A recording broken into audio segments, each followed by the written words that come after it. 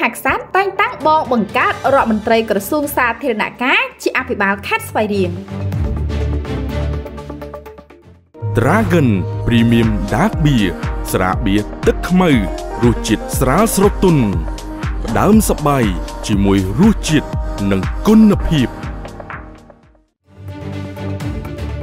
ព្រះករណាព្រះបាទសម្ដេចព្រះបរមនាថនរោត្តមសីហមុនីព្រះមហាក្សត្រតែងតាំងលោកពេងពោធិសាជាអភិបាលនៃគណៈអភិបាលខេត្តស្វាយរៀងកាលពីថ្ងៃទី23ខែសីហាឆ្នាំ2023លោកពេងពោធិសាជាអភិបាលរងខេត្តស្វាយរៀងដែលត្រូវបានតែងតាំងកាលពីថ្ងៃទី18ខែសីហាឆ្នាំ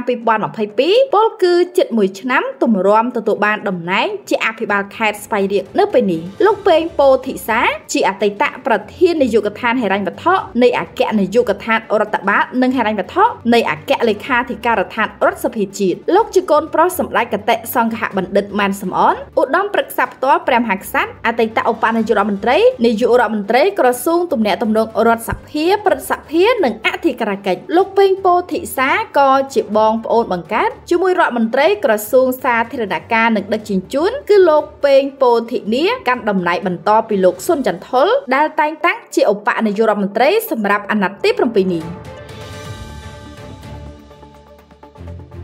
Dragon Premium Dark Beer ស្រាបៀរទឹកខ្មៅរសជាតិស្រាលស្រទន់ផ្ដើមសបាយជាមួយរសជាតិនិងគុណភាព